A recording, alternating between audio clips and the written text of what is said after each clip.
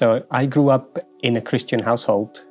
Uh, so I feel like I've got introduced to Jesus very early on. So I feel like I've always accepted Jesus. I've never rejected him.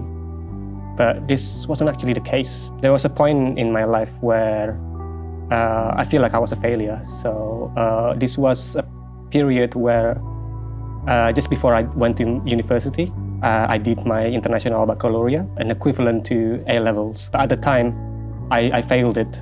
So it was a period of unease in my life. Uh, I remember a lot of people were expecting me to do well in that uh, in that in that area and expecting me to go into university and to to you know to go on and be be this this amazing person that I was expected to be. Um, but uh, in reality, I failed. Even though that was the case, I got an offer, unconditional offer, and it was at a university uh, that I've never thought of. Um, at the time, this was God setting me in a path, but at the time I didn't realize that. Um, and so I felt, after the failure, I felt like I'm a massive failure and I didn't deserve to be where I was. And so this, this resulted in a lot of emotions, um, uh, a lot of mixed feelings, uh, feelings of just accepting it, but feelings of rejecting it at the same time. So feelings of shame and anger, um, mainly pointed at myself. And so at the time, I was very anxious actually. I was, yeah, anxiety kicked in uh, when I started my course. Uh, but then this, this anxiety got a hold of me and I felt like I needed to blame something.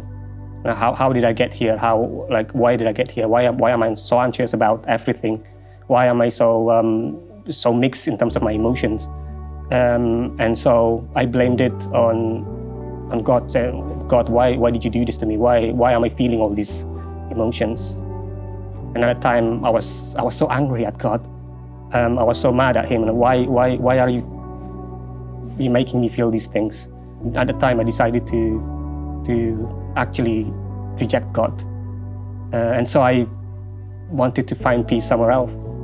Um, and so I went with my, my, my friends at the time, and I went drinking at least twice every day. Um, you know, I went partying. I, went, I was a little bit on the wild side at the time. Um, even you know, even got peer pressured into smoking at the time. So you know, I was I was this this insecure person. Then as the course goes on, my my, my anxiety goes gets worse and worse. I've left God totally out of my life. Then I went on to to do my uh, master's course after this, uh, which is in Liverpool. And this was actually a time where, um, where I managed to encounter God again, re-encounter God again. I, I, remember seeing this guy with this uh, massive pointy hand placard, and it's, on it, says, "Church this way." And I remember at the time walking past him, and I was like, "Wow, he looks ridiculous." Yeah, he looks, you know, like he, I wasn't expecting him to be standing there with that sign.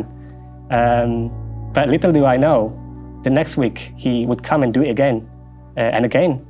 And so eventually I got curious and um, you know I decided to, to get this God thing going again because at the time I didn't feel like what the world has to offer me was enough. I was always looking for more and more and more and more. And you know, in a way, I was more insecure. I was more anxious about what about everything else, but my feelings. When I walked into into that place, it was a feel a feeling of ease on me, and I felt like I walked into a room where I can just lay everything down and where I can come again into the presence of the Holy Spirit. I remember the preach was uh, somewhere along the lines of uh, bringing all, all we have to Jesus. And at the time, I remember um, there was an altar call, and I decided to actually, you know, put my hands up and go forward. I felt so much peace. I felt so much ease, and that my anxieties just just somehow just left me. You know, I feel I feel this this sense of Holy Spirit on me, and I feel like um, that's that's that's causing this this peace inside me, and it's it's making me feel feel at peace. This is this is not this is not of this world. This is not this is not something that I can achieve from just going out drinking.